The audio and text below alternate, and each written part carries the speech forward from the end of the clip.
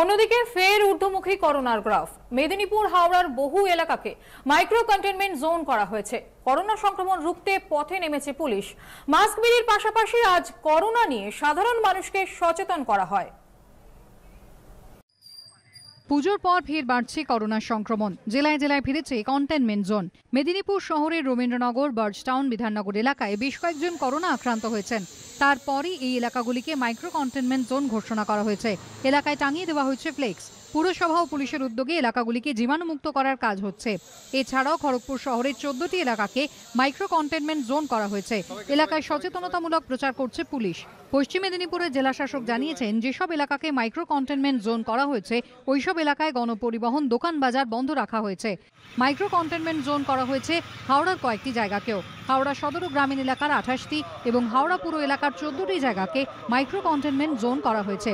Covid বিধি মেনে চলার জন্য পুলিশের তরফে করা হচ্ছে প্রচার। উলুবেড়িয়ায় জীবাণুমুক্ত করা হয় রাস্তা, বিলি করা হয় মাস্ক।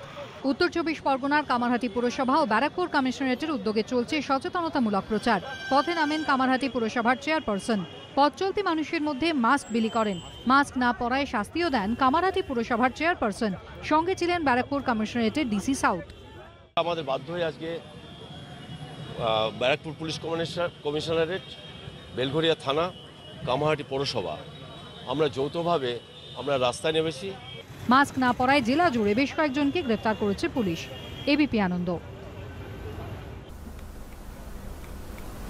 মাস পয়লায় বিজেপি ছেড়েছিলেন। মাসের শেষ সপ্তাহে পুরনো দলে যোগ দিলেন রায়গঞ্জের বিধায়ক কৃষ্ণ কল্যাণী। তৃণমূলের প্রতিক্রিয়া উন্নয়নে সামিল হতেই যোগ দলে যোগ দিয়েছেন কৃষ্ণ কল্যাণী। যদিও এ নিয়ে কটাক্ষ করতে ছাড়েনি বিজেপি।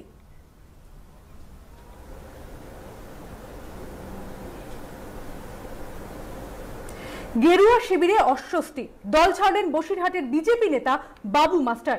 বিজেপির কোনো সিদ্ধান্তই ভালো লাগেনি। জীবদ্দশায় আর বিজেপি করব না। মন্তব্য পদত্যাগী নেতার। যদিও বাবু মাস্টারের দলত্যাগ নিয়ে পদ্ম শিবিরেই শোনা গিয়েছে ভিন্ন সুর।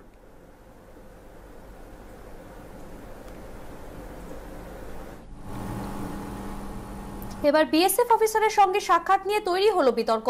দিনহাটায় উপনির্বাচনের মুখে বিএসএফ অফিসারের সঙ্গে দেখা করলেন দিলীপ ঘোষ, সুকান্ত মজুমদার। ভোটে সাহায্য পেতেই সাক্ষাৎ, কটাক্ষ করেছে তৃণমূল। যদিও সৌজন্য সাক্ষাৎ বলে দাবি করেছে গেরুয়া শিবির। পাঞ্জাব অসম ও বাংলায় সীমান্ত থেকে বিএসএফ এর কর্মক্ষেত্র পনেরো থেকে বাড়িয়ে পঞ্চাশ কিলোমিটার করেছে মোদী সরকার জানিয়ে চরমে পৌঁছেছে কেন্দ্র রাজ্য তরজা। সামনেই আবার দিনহাটায় উপনির্বাচন। এই প্রেক্ষাপটে বুধবার বিএসএফ এর কোচবিহার সেক্টরের সদর দপ্তরে যান বিজেপির সর্বভারতীয় সহসভাপতি দিলীপ ঘোষ এবং রাজ্য সভাপতি সুকান্ত মজুমদার। বিএসএফ এর কোচবিহার সেক্টরের ডিআইজি শৈলেন্দ্র কুমার সিনহার সঙ্গেও দেখা করেন তারা। গেরুয়া শিবির একে সৌজন্য সাক্ষাৎ বলে দাবি করলেও ভালোভাবে নিচ্ছে না তৃণমূল।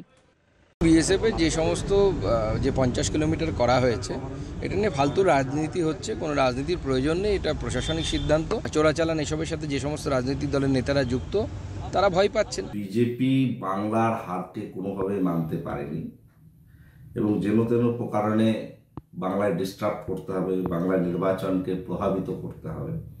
বিএসএফ ক্যাম্পে ডিআইজির সঙ্গে দেখা করাটা, এটা নিছক সৌজন্য সাক্ষাৎ নয়। এর পেছনে কোনো অভিসন্ধিমূলক বিষয় রয়েছে। তিরিশে অক্টোবর উপনির্বাচন হবে বাংলাদেশ সীমান্ত লাগোয়া দিনহাটায়। নিরাপত্তার দায়িত্বে থাকছে সাতাশ কোম্পানি কেন্দ্র বাহিনী। কিন্তু ভোটের মুখে বিএসএফ আধিকারিকের সঙ্গে দিলীপ ঘোষ ও সুকান্ত মজুমদারের সাক্ষাৎকে খোঁচা দিয়ে এই টুইটটি করেছেন দিনহাটা তৃণমূল প্রার্থী উদয়ন গুহ। নির্বাচন বিধিভঙ্গ হলো। ওই আমরা তো এসপি ডিএম এর সাথে গিয়ে দেখা করতে পারি না। ফোন পর্যন্ত করি না ফোন রিসিভ করে না। আর ওরা গিয়ে বিএসএফ এর অফিসারদের সাথে দেখা করছে। সব মিলিয়ে দিনহাটায় উপনির্বাচনের আগে যেন বিতর্কের শেষ নেই। শুভেন্দু ভট্টাচার্যের রিপোর্ট এবিপি আনন্দ, কোচবিহার।